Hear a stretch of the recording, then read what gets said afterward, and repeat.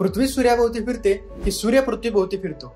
हे आज जर का तुम्हाला विचारलं तर नक्कीच तुम्ही बरोबर उत्तर द्याल.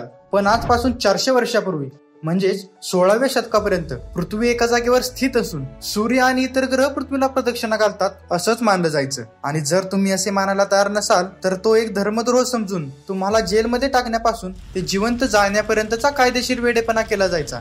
तर आज आपण जाणून घेणार आहोत याच कायदेशीर वेडेपणाचा शिकार झालेल्या आणि सर्वांना विज्ञानाच्या दिशेने घेऊन जाणाऱ्या पहिल्या शास्त्रज्ञाबद्दल म्हणजेच गॅलिलिओबद्दल. व्हिडिओ सुरू करण्याअगोदर जर तुम्ही या चॅनलला नवीन असाल तर आत्ताच चॅनलला सबस्क्राईब करा आणि व्हिडिओ आवडला तर लाईक आणि शेअर पण अवश्य करा. गॅलिलिओला पहिला शास्त्रज्ञ म्हटले म्हणजे त्याच्या अगोदर कोणी सायंटिस्ट झाला नाही असं नाही. गॅलिलिओच्या अगोदर ऑरिस्टोटल आणि टोलेमिन यांच्या विचारांनाच लोक विज्ञान म्हणत यांच्याबद्दल सांगायचं झालं तर ते दोघेही पृथ्वी स्थिर असून सूर्य चंद्र आणि इतर ग्रह त्यांच्या भोवती फिरतात याच मताचे होते.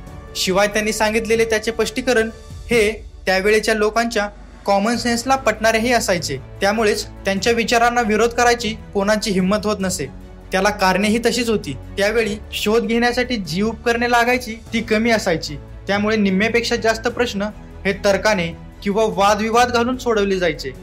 गॅलिलिओ हा पहिला सायंटिस्ट होता ज्याने त्यांच्या विचारांच्या विरोधात जाऊन आपला विचार मांडला आणि तो सिद्धही केला.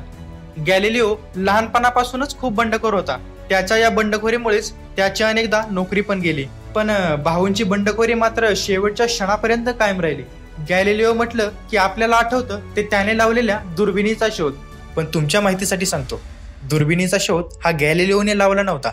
त्याच्या अगोदरच चष्मे तयार करणाऱ्या व्यक्तीने मजे मजेमध्ये म्हणजेच चष्म्याचे दोन भिंग समोरासमोर ठेवून काय होतंय हे पाहता पाहता लावला होता. त्यानंतर त्याच्यामध्ये काही बदल करून त्याचा उपयोग समुद्रातून येणाऱ्या जहाजावर लक्ष ठेवण्यासाठी केला गेला. गॅलिलिओने हे सर्व पाहिले आणि त्यानंतर एका समारंभासाठी फक्त चोवीस तासामध्ये पहिल्या दुर्बिणीपेक्षा तिप्पट शक्तिशाली एक दुर्बीण तयार केली. त्याचा फायदा असा झाला की गॅलिलिओ रातोरात हिरो बनला. त्यानंतर गॅलिलिओला असं वाटलं की याच दुर्बिणीतून आपण समुद्रावरच्या बोटींऐवजी आकाशातले ग्रहतारे पाहिले तर?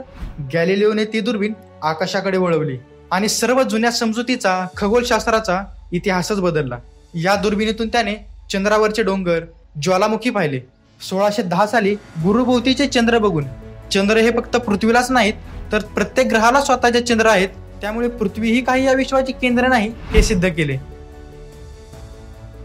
पण अर्थातच हे काही त्यावेळेच्या धर्मगुरूंना पटले नाही व त्यांनी गॅलिलिओवर धर्मद्रोहाचे खटले चालू केले.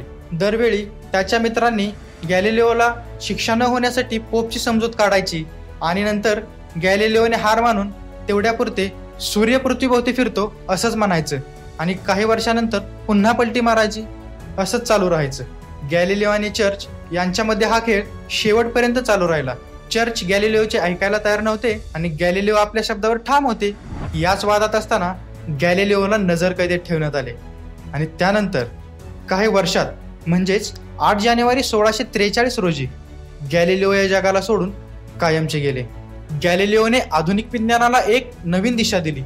आणि गंमत म्हणजे त्यांच्या मृत्यूनंतर म्हणजेच तीनशे चाळीस वर्षांनी एकोणीसशे ब्याऐंशी साली सूर्य आणि पृथ्वी यांच्यापैकी कोण कोणाभोवती फिरते याविषयी जुनी केस पुन्हा चर्चमध्ये उभी राहिली. आणि त्यानंतर दहा वर्षांनी सगळे पुरावे सिद्ध झाल्यानंतर एकोणीसशे ब्याण्णवला गॅलिलिओला चांगली वागणूक मिळाली नाही व पृथ्वीचं सूर्याभोवती फिरणं हे मान्य केलं गेलं. त्या अगोदर तीन वर्षापूर्वीच म्हणजेच एकोणीसशे एकोणनव्वद साली झेप घेतलेले गॅलिलिओ नावाचे अंतर्यान एकोणीसशे पंच्याण्णव साली गुरुपर्यंत पोहोचलं. तेव्हा गॅलिलिओला विसाव्या शतकानं केलेला तो एक सलामच होता. व्हिडिओ आवडला असेल तर आमचा चॅनल सायन्स आणि बरंच काहीला लाईक शेअर आणि सबस्क्राईब करा. धन्यवाद.